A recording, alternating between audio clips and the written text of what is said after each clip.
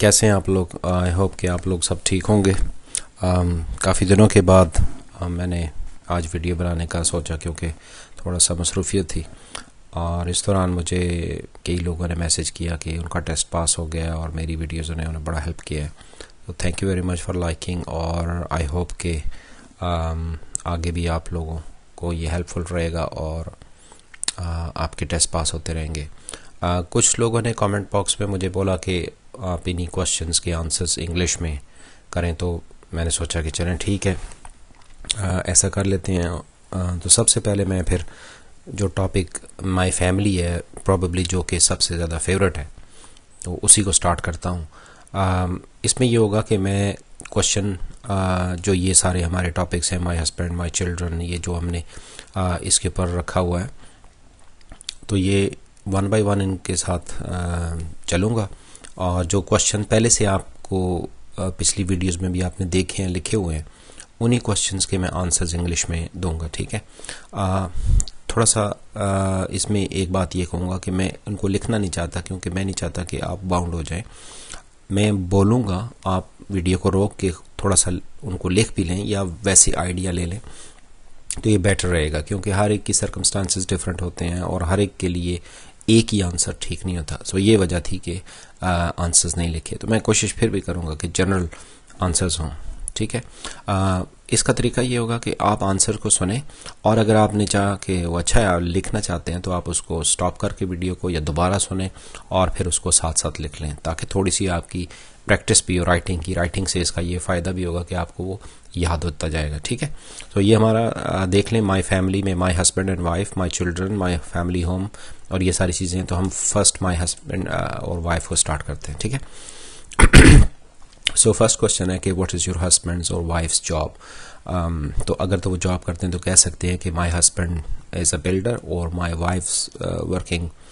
at a surgery और my wife is a receptionist ठीक है, बस इतना आंसर काफ़ी है। Does he she do a full time job और a part time job so आप कह सकते हैं कि yes my husband is doing a full time job या my wife is doing a full time job या पार्ट टाइम है तो आप पार्ट टाइम कह देंगे।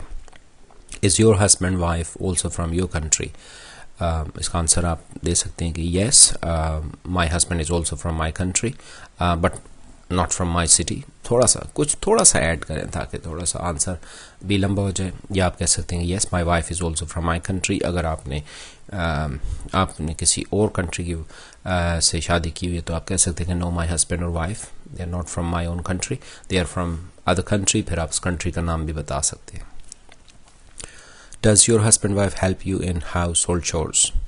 तो क्या आपके हस्बैंड जो है या वाइफ जो है वो घर के काम में आपकी मदद करते हैं? तो आप कह सकते हैं कि yes my husband is very helpful ये तो छोटी होता है ज़्यादातर. Any you can say that yes my husband is very helpful he helps me in different um, household chores. For example, he cleans, cooks sometimes, he looks after my children, and he takes me to different places like shopping. Uh, तो यही चीज़ आप wife के लिए भी use कर सकते हैं। How long have you been married for तो आप कह सकते हैं कि we have been married for three years four years जितना भी शादी का टाइम हुआ है। When did you get married तो इसका आंसर आप देंगे। मैं एक, एक ऐसे ही फर्जी डेट ले लेता हूँ। We got married on twenty fifth of December two thousand and nine ठीक है? तो ये इसका इनफ है। Is he she caring so आप yes yes he is very caring या yes she is very caring तो आप इसका आंसर में कुछ एग्ज़ाम्पल देना चाहें, दे सकते हैं yes is very caring any time I need help he is there for me और she is there for me that's it उसके बाद चिल्ड्रन का है. Do you have children so इसका आंसर है yes we have two children we have three children जितने भी हों. ठीक है, आप उसका बता सकते how many children do you have so ये क्वेश्चन मतलब डिफरेंट क्वेश्चन है लेकिन बाजू का तो एक क्वेश्चन भी बन सकता है। I have two children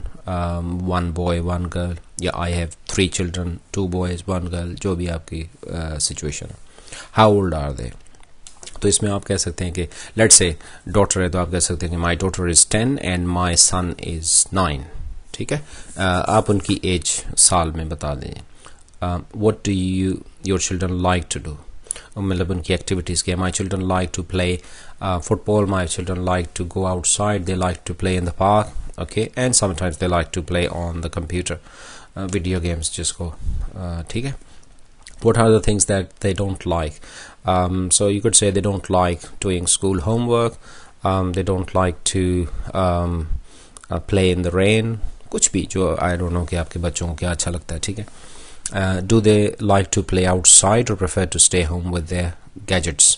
Um, तो आप uh, कह सकते हैं कि yes they like to play with their gadgets but sometimes when it is nice and sunny we go outside they like to play they like to go on swings ठीक है? What kind of TV programmes do you like इसमें मेरे पास कोई knowledge नहीं है because I don't watch TV मेरे पास टीवी नहीं है मैं नहीं कुछ कह सकता। सो so आप कह सकते हैं कि my children like this this T programme that T programme ठीक है? जो भी आपका उसके बाद my family home do you live in a flat और हाउस तो आप इसका आंसर कर सकते हैं कि आई लिव इन अ फ्लैट या I live in a house how many bedrooms are there in your house there are three bedrooms in my house या there are two bedrooms do you have a garden in your house और flat अगर है तो आप कहें yes there is a very big garden in my house and I really like its what is your favourite part of your house और flat तो आप कह सकते हैं कि my favorite part of my house is my bedroom because this is the place where I um, relax and when I get tired I just go and sleep and I feel comfortable okay do you have your personal driveway uh, yes we have a personal driveway and we park our, our cars over there do you clean your house regularly so आप कह सकते हैं yes I clean my house regularly um, especially once in a week we do thorough cleaning otherwise we keep cleaning our house almost every day what kind uh, what can you see from your bedroom तो ये question बड़ा nonsense सा लगता है लेकिन ये अक्सर पूछते हैं लोग you can say that I can see park from my gate bedroom और या आप कह सकते हैं कि I can see road I can see surgery I can see some shops from my um, uh, bedroom ठीक है जो भी आपको नज़र आता हो आता हो ना आता हो बस आपने कुछ कह देना है उसके बाद है family activities what kind of activities do you enjoy with your family तो आप कह सकते हैं कि like to play football with my family I like to play uh, some indoor games I like to go for walk I like to go jogging running yeah do you like to go for picnics often yes i like to go for picnics it's it's very relaxing it's enjoyable um, do you often have parties at your home तो आप कह सकते yes sometimes not very often but sometimes especially on special occasions we have parties yeah what is your best family travel destination तो आप कह सकते हैं कि my best family travel destination is Scotland या France जो भी आपको अच्छा लगता हो how often do you go out for dinners um, इसमें आप अपनी सिचुएशन के मुताबिक कि yes sometimes we go often once a month we do go but sometimes more than other times do you do barbecues sometimes तो आप कह सकते हैं yes sometimes in our garden it's a nice garden it's we have everything for barbecue and my children like it so that's why sometimes we do it how important are family activities in your view Family activities कितनी important है? तो आप उसमें कहें कि family activities are very important to stay connected and to understand each other and to give children some inspiration ठीक है? Pet के बारे में? What type of pet to you have तो आप कह सकते हैं कि आई हैव अ कैट या अगर नहीं है तो आई है I don't have any cat I don't have any pet ठीक है what breed is it okay so आप कह सकते हैं my my my cat is this breed और डॉग है तो my dog is German shepherd whatever it is what is its name तो आपका आपको पता होना चाहिए उसका क्या नाम है जो भी है what is the name my pet's name is Tommy जो भी हो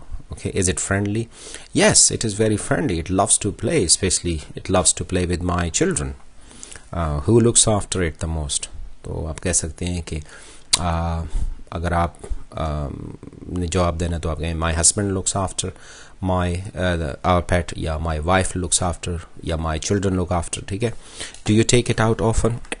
yes whenever um, it's nice weather uh, we do go out and our dog loves to go out it enjoys it jumps runs okay and what does your pet like to do The most okay so आप कह सकते हैं कि माई pet dog है अगर late से तो कह सकते हैं कि my dog loves to run after squirrels और क्रोज और रेबिट्स और चिल्ड्रन इवन ठीक है? How old is your pet my pet is five years old ten years old ठीक है? जो भी इस तरह हुआ। सो so, ये कुछ um, आंसर्स uh, थे जो कि हमने इसमें देखे। आई होप कि आपको समझ आ गई होगी कि कैसे आंसर्स करने हैं। अगर कोई फिर भी प्रॉब्लम हो तो बताइएगा। ठीक है? Thanks for watching and good luck